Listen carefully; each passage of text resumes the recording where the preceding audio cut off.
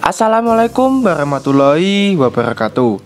Oke guys, pada kesempatan hari ini saya berada di kandangnya Mas Santo Mas Santo ini juga mengikuti paguyuban peternak andalan Saraden yang diketuai Mas Budi.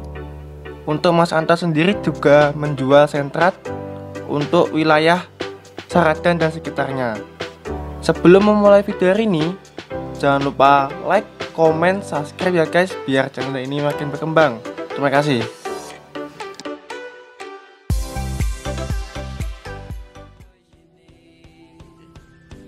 First, let me get lost, get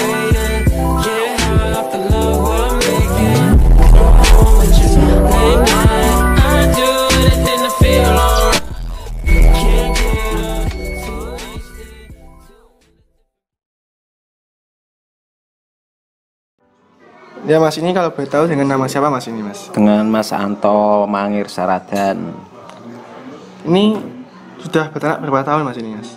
untuk mulai bertenak sampai sekarang sudah dua tahun setengah berjalan Dua, tahun dua tahun mas ya. dua tahun setengah berjalan Nah untuk pembangunannya menghabiskan biaya berapa mas itu mas? itu masalah biaya kandang gimana ya itu biaya kandang itu ya kurang lebih 20 lah 20 mas ya. Untuk 20 kapasitas berapa itu? untuk kapasitas 5 ekor Nah untuk ini sistemnya gimana mas ini di kandang ini? sistem kandang Mas Anto ini untuk pengemuan tempo maksimal 4 bulan dijual daging Jual dagingnya mas. Ya. Sistem jogrok apa sistem timbang sih? Mas? sistem timbang Sistem timbang. Itu ada yang ngambil apa ada yang gimana mas? ya betul itu ada yang ngambil dari Blitar Dari Blitar. ya betul Nah untuk rata-rata masuk itu berapa kilo mas mas? Bibitnya untuk dikemukan. bibit awal masuk perkiraan 4 sampai 5 kintal Itu segitu mas ya wajib itu mas. ya itu dengan harga minimal lah 17 sampai 22 Maksimal 20 kilo, Mas. maksimal 22 kak berani mahal-mahal. Nah untuk ini mas, yang sebelah ini tadi siapa mas? Namanya? yang sebelah timur sendiri keong. Nah untuk ini? Itu keong itu bakalan dari 17 setengah sekarang sudah empat bulan perkembangannya begitu pesat. Sangat- sangat bagus ADG-nya tinggi mas. Itu dari berapa tuh mas? Belinya dulu?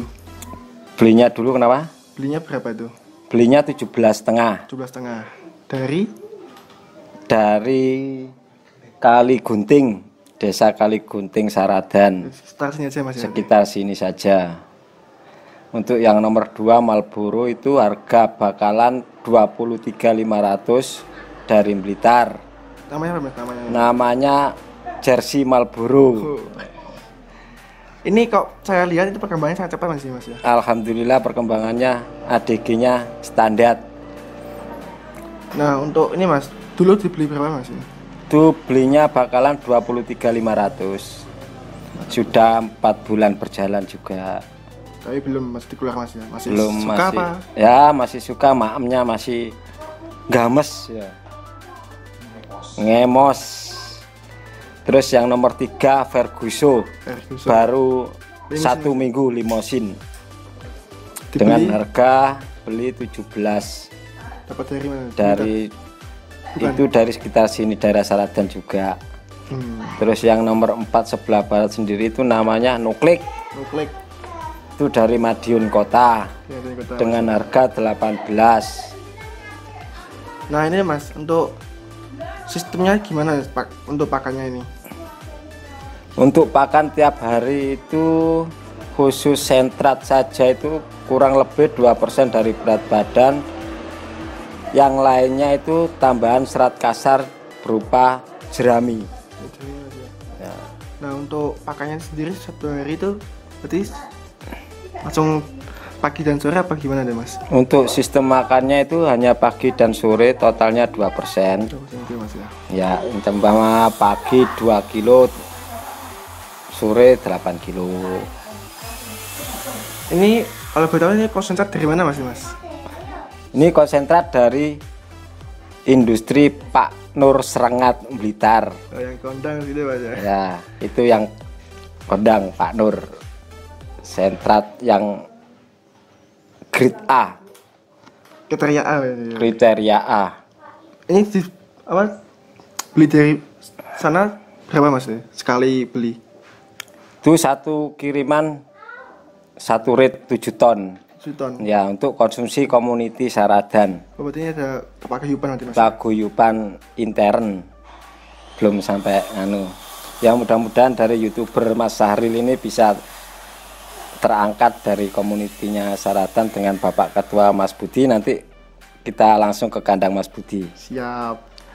Itu untuk per sak itu berapa mas tuh? Kalau boleh tahu dari Pak Nur. itu kalau persak kita langsung harga jual 180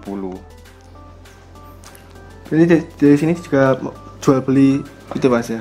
Apa? bisa untuk kita melayani jual beli juga bisa Tadi kok saya lihat tuh ada tepung gaplek mas itu.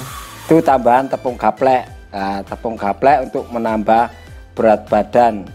Tepung gaplek kandungannya dengan karbohidrat. Jadi umpama sapi ingin tambah berat badan ditambahi tepung gaplek atau ketela. Nah itu untuk ke depannya bagaimana mas? Prospek untuk paguyuban panjenengan sama kandangnya gimana mas?